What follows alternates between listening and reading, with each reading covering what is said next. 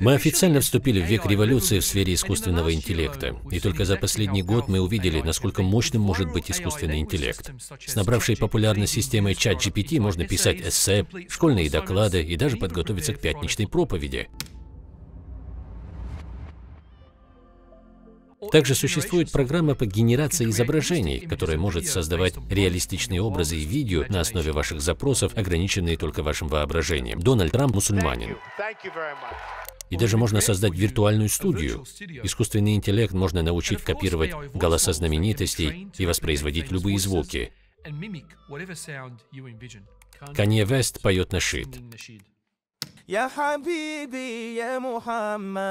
И самое удивительное, эта технология прогрессирует ежедневно и крайне быстро. Но что же это значит для мусульман? Должны ли мы бояться? Означает ли это приближение судного дня? Или же это что-то, что пройдет мимо нас тихо и незаметно и будет вскоре забыто? Чтобы разобраться в этом вопросе, мы пригласили одного из лидирующих экспертов в сфере искусственного интеллекта, мусульманина доктора Валида Куддуса, прямиком из Кремниевой долины. Он занимался внедрением искусственного интеллекта в такие мировые компании, как Google и Uber. Он также руководил созданием Google Card. Мы задали ему сложные вопросы. Вот как это было. Существует ли какая-то сверхчеловеческая пропаганда, которая хочет соединить роботов и людей? Прежде чем мы вернемся к интервью, которое вы так ждете, если вам нравится наше видео, а также другие видео на нашем канале, поддержите нас. Мы находимся на последнем этапе создания студии для создания лучшего продакшена, и в этом будет польза для мусульман всего мира. Посетите наш сайт и сделайте любой вклад, который вы можете для достижения нашей миссии. Возвращаемся к интервью. Вы работали с искусственным интеллектом десятилетиями. Мы теперь часто слышим, искусственный интеллект сделал то или это. Что же такое искусственный интеллект? Как бы вы объяснили это десятилетнему ребенку? Итак, изначально компьютеры были запрограммированы таким образом, что ты задаешь им программу А, Б, С. И неважно, что уже испытал ваш компьютер или чему научился, он не может менять своего поведения. Суть же искусственного интеллекта в том, что он может обучаться из своего опыта. Другими словами, каждый раз, когда компьютер или алгоритм видит какую-то новую задачу, он пытается понять, чему этот пример или задача могут научить его об окружающем мире. Мы очень часто используем искусственный интеллект в нашей жизни. Например, когда ты заканчиваешь просмотр видео на Netflix, как он определяет, что показать тебе дальше? Искусственный интеллект определяет, что люди, которые смотрели фильм А, им также нравится фильм Б, или же 50% из них также смотрят фильм Б. И делая так, вы также начинаете замечать закономерности в жизни. Компьютерам больше не говорят, что им нужно в точности делать. Им теперь говорят «адаптируйся и изменяйся». И эта идея адаптации – это то, что исторически было свойственно только людям. А сейчас, совершенно неожиданно, компьютеры становятся все более сильными в этой области. Учитывая, что искусственный интеллект может генерировать реалистичные образы, текст, а также речь, насколько сложно будет проверить подлинность информации, стоит ли об этом беспокоиться? Да, так и есть, особенно учитывая, что мы видели в США с вмешательством в выборы русскими, которые пытались использовать такие технологии. А теперь представьте эти технологии на стероидах. Их можно теперь персонализировать для каждого человека, и очень трудно обнаружить подмену. Мы определенно должны обратить на это внимание и научиться контролировать это. Как вы думаете, к чему это приведет с точки зрения распространения информации, ложных новостей и тому подобного? Как этому противостоять? Да, это действительно сложная проблема. Я думаю, что это происходит еще и потому, что мы не научились различать искусственный контент от подлинного. Также этот контент сделан таким образом, чтобы давить на уязвимые места. Из-за этого мы сталкиваемся с предвзятым отношением при подтверждении информации. Поэтому мы всегда должны перепроверять источники. И этот подход нельзя назвать неисламским. В Коране Аллах говорит, Смысл. О верующие, если нечестивец принесет вам какое-либо известие, то проверьте его на достоверность, чтобы по незнанию не навредить людям и чтобы после не пожалеть о содеянном. Сура 49, аят 6. Аллах говорит, когда до тебя дойдет информация, найди время, чтобы проверить ее. И способы проверки становятся все более сложными с технической точки зрения. Но это все те же основные принципы. С вашей точки зрения, насколько далек искусственный интеллект, чтобы стать разумным или сознательным? Ученые долгое время спорили, как правильно определить понятие сознания, и я не думаю, что мы хорошо в этом разобрались. В Коране говорится, когда тебя спрашивают о душе или сущности сознания, Они говорят, что это знание и знание моего Господа. Другими словами, люди все еще не могут ответить на подобные вопросы. И правильно ли вообще сформулирован этот вопрос? Один из ранних компьютерных инженеров сказал, Спрашивать, может ли компьютер думать, все равно, что спросить, может ли плавать подводная лодка. Люди и компьютеры настолько разные, что этот вопрос не имеет смысла. Заменит ли искусственный интеллект наших друзей? Перестанут ли испытывать потребность вступать в брак и заводить отношения? К сожалению, я предвижу перемены на этом фронте. В частности, число браков стремительно падает в западных странах. Уровень рождаемости также стремительно падает, и причиной этому – рост порнографии в интернете. И это только один из примеров социальных последствий. А теперь возьмите этот пример и поднимите его до уровня, где можно использовать искусственный интеллект, чтобы создать виртуальную личность, которая полностью соответствует вашим предпочтениям. Она будет соответствовать вашим визуальным, текстовым или звуковым предпочтениям. И в этом также можно увидеть тот социальный ущерб, который это принесет. Подобно порнографии, только во много раз больше. И с этим обществу придется столкнуться. Это одна из тех вещей, которая меня беспокоит. Как искусственный интеллект негативно повлияет на общество. К сожалению, мы уже начинаем замечать признаки этого. Сэм Альтман, директор компании, создавшей ChatGPT, сказал, что эта технология может представлять угрозу исчезновения человека. Как человек, который знает эти технологии, как мусульманин, что вы можете ответить на это? Могу сказать, что это точно не та причина, которая заставила бы меня бодрствовать по ночам. Давайте посмотрим на другие проблемы, угрожающие исчезновению человека, как изменение климата, развал общества и уничтожение института семьи, что мы сейчас и наблюдаем. По сравнению с этими проблемами, я не очень волнуюсь по вопросу искусственного интеллекта. Технология все еще в зачаточном этапе. И у Сэма Альтмана может быть другое мнение. Я нахожусь в Кремниевой долине уже 15 лет, и когда у вас есть стартап, вы хотите создать шумиху вокруг него, вы создаете барьеры, чтобы другие не могли проникнуть. Вы заставляете правительство делать всю скучную работу по созданию правил, которым вы знаете, как следовать, а другие нет. И это чисто бизнес. Поэтому я, конечно, уважаю технические способности Сэма Альтмана, но надо помнить, что у него есть своя цель, которую он преследует. Именно это он и делает в качестве директора компании OpenAI. Каким образом использование искусственного интеллекта может быть использовано с пользой для ислама? Я видел некоторые очень интересные приложения. Одно из приложений, которое раскрывает возможности искусственного интеллекта, это приложение Тартиль. Это мобильное приложение, которое слушает, как вы читаете Коран и указывает на ваши ошибки при чтении. Раньше всегда приходилось найти кого-то или подружиться с кем-то, чтобы тебя поправлял, а теперь это стало намного проще. Поэтому в этом смысле искусственный интеллект — это инструмент, который можно использовать для любых целей. Такие приложения могут генерировать такие изображения и художественные образы, которые заставят зрителей откликнуться, если, конечно, они будут сделаны с умом, умелыми руками.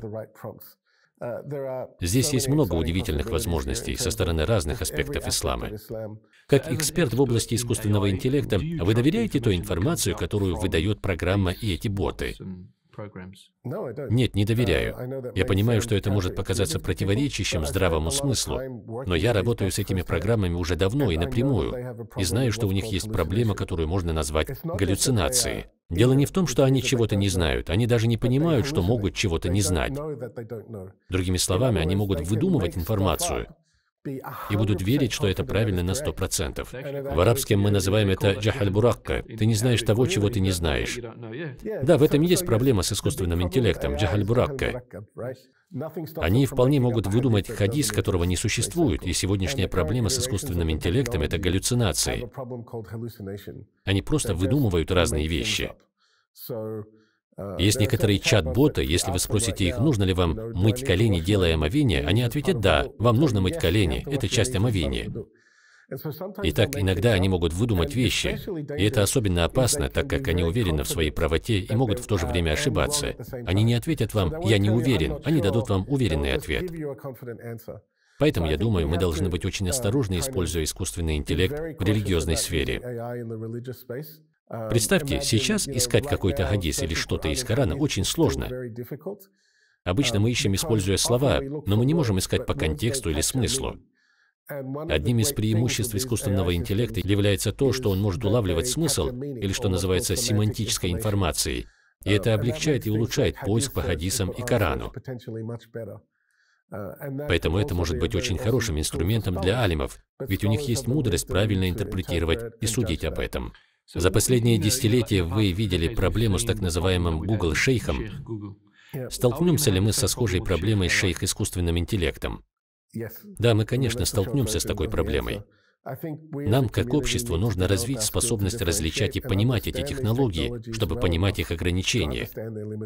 Я понимаю, что некоторым кажется, словно это похоже на волшебство, и искусственный интеллект обязан говорить правду, а также должен игнорировать историческую предвзятость, которая существует в результатах поиска. И вот это привело к разного рода поляризации в обществе, то есть к противостояниям. Я думаю, что при использовании этих технологий всегда есть риск, что возникнут такие споры, если мы не будем использовать их должным образом. Поэтому такое может случиться. Мусульманская община всегда сталкивается с такой проблемой. Можно сказать, что все это неправильно, или же можно приспособиться и использовать искусственный интеллект для блага. Кто-то может сказать, что нет, нет, не стоит искать исламскую информацию в интернете. А кто-то скажет, почему бы нам не использовать эти инструменты, чтобы сделать поиск исламской информации в интернете более эффективным, достоверным и последовательным. И это та точка зрения, которой я хотел бы придерживаться. Насколько предвзяты эти чат-боты с искусственным интеллектом? Я попросил чат-бот объяснить палестинский конфликт, как если бы его пришлось объяснять десятилетнему ребенку. Я получил абстрактный ответ, где говорилось, что это трудная вещь для объяснения. В чем же заключается опасность предвзятости в искусственном интеллекте? Да, все-таки есть. Проблема с предубеждением действительно существует. Ведь эти системы не появились таинственным образом. Это люди создали эти программы. Здесь нужно задуматься о двух вещах. Первое – это часть программного обеспечения, алгоритмы, которые они пишут. И второе – это база данных, которую они используют, чтобы строить модели.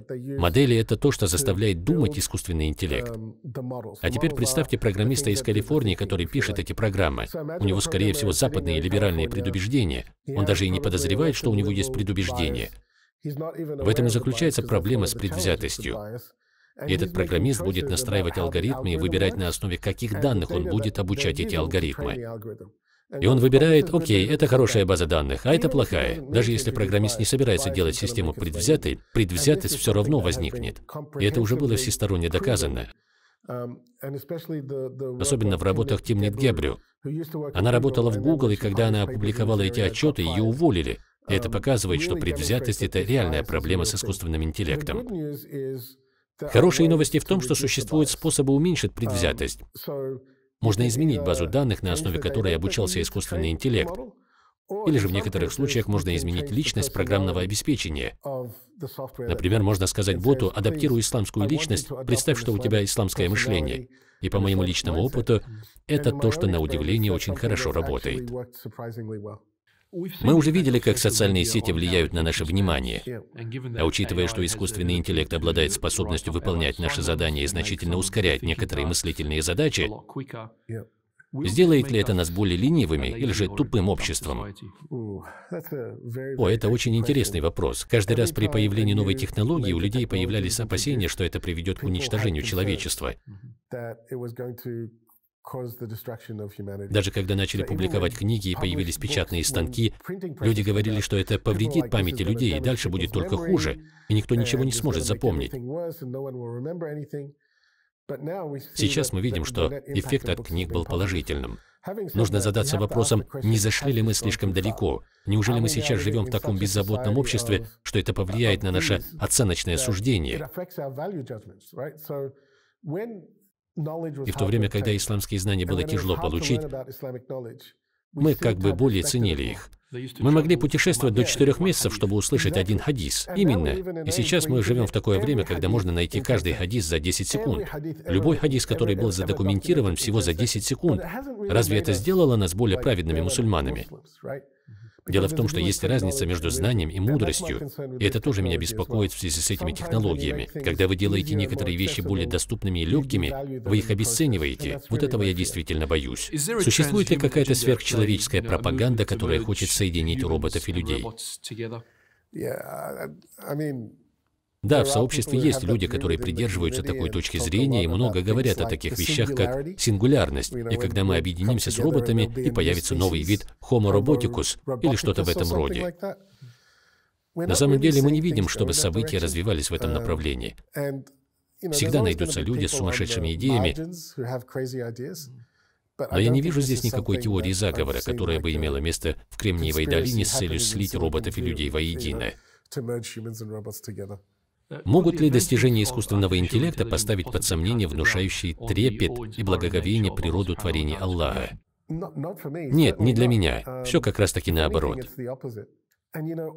Все эти технологии, все эти алгоритмы, знаете, в Коране есть аят, где Аллах бросает вызов человечеству. Попробуйте создать муху.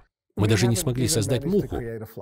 Поэтому даже сама мысль, что это как-то повлияет на наш иман, только из-за того, что нам удалось склеить большой объем информации вместе,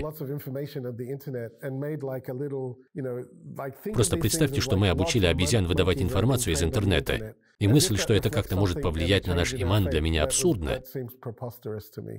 Учитывая, что искусственный интеллект может копировать голос человека, создавать образы или даже возвращать к жизни в виртуальном образе тех, кто уже покинул нас, можно ли сказать, что искусственный интеллект играет роль Бога? Можно заметить кое-что общее во всех этих алгоритмах. Им нужно что-то для старта, чтобы начать работать. Например, для того, чтобы искусственный интеллект вернул к жизни умершего человека, ему нужно каждое электронное письмо, которое отправил человек, каждый звонок, который совершил этот человек. Все эти вещи, которые они делают, они только могут копировать то, что уже создал Аллах. Я помню, Мухаммад Шариф однажды рассказывал историю. Ученые заявили, что теперь мы можем создавать маленьких насекомых, и они вступают в дискуссию с Богом. Ибо Бог отвечает, в таком случае добудьте собственную глину и элементы, с помощью которых вы сделали насекомых. Все, что они могут, это просто по-умному собрать вместе элементы. Это все заставляет поражаться, задуматься о том, как же Аллах сделал это изначально. Как мусульманин может быть уверен, что искусственный интеллект не разрушит его связь, отношения с Аллахом? Это очень глубокий вопрос. У искусственного интеллекта есть потенциал для этого. Вы можете использовать искусственный интеллект, чтобы обучаться исламу. Можно использовать искусственный интеллект для создания материала для да'вата. Вы также можете использовать искусственный интеллект для создания машин, которые убивают людей. Машин, которые делают катастрофические вещи и сеют хаос на Земле. Поэтому мы должны использовать преимущества искусственного интеллекта для благого. Это похоже на доступ к книгам. Само по себе это не является плохим или хорошим. Все зависит от того, на чем ты фокусируешься и какой выбор делаешь. Ты сам выбираешь, каким образом использовать искусственный интеллект. Например, для получения краткого содержания исламских книг. Вы можете использовать искусственный интеллект для своего духовного развития, и в этом будет благо. Вы работали над такими проектами, как Google Maps и Uber. Это технологии, которые изменили жизни людей. Как вы думаете, в какой области искусственный интеллект продвинет человечество в ближайшие 5-10 лет? Да, это непростой вопрос. Все эти технологии только усиливают тенденции, которые уже и так существуют. Будет еще больше зла и будет еще больше добра. И это зависит от нас, чтобы все пошло в положительном направлении. Я предвижу, что образование и обучение значительно ускорятся. Я вижу мир, где люди чувствуют себя более продуктивными и довольными работой, так как рутинная часть будет автоматизирована. Я также вижу мир, где растет безработица и усиливается неравенство в обществе, где бедные становятся еще беднее, а богатые еще богаче. И мы, как мусульмане, должны принимать в этом участие, чтобы быть уверенными, что происходят правильные вещи, и общество движется в правильном направлении. И это приносит позитив в целом. Как вы думаете, должны ли мусульмане начать использовать искусственный интеллект, или стоит немного подождать и посмотреть, что из этого выйдет? Из уроков по истории и исламу я могу сказать, что для ислама оставаться в стороне всегда было плохой идеей. Мы хотим видеть наших братьев из первых, кто освоит эти навыки. Поэтому я беру в пример печатный станок. Изначально много ученых было против печатного станка, считалось, что он разрушает знания и вредит этим людям. Изначально так было с интернетом и спутниковым телевидением. Мусульмане вначале выступали против использования этих технологий и в конце начали их использовать. Таким образом, упустив несколько лет пользы от этих технологий, так как считали, что в этом нет блага.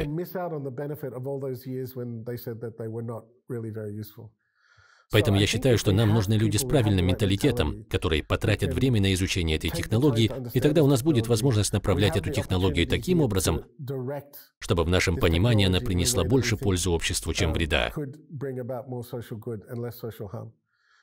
Я не думаю, что мы сможем остаться в стороне от этого. У нас должна быть исламская альтернатива, так как люди все равно будут обращаться в чат GPT за вопросом. Поэтому очень важно, чтобы мы принимали участие в развитии и применении этих технологий с самого начала. И это и является тем мотивирующим фактором для меня, что я трачу на это время, так как эта технология будет менять общество. Я предпочитаю сделать так, чтобы это сыграло нам во благо, а не против нас.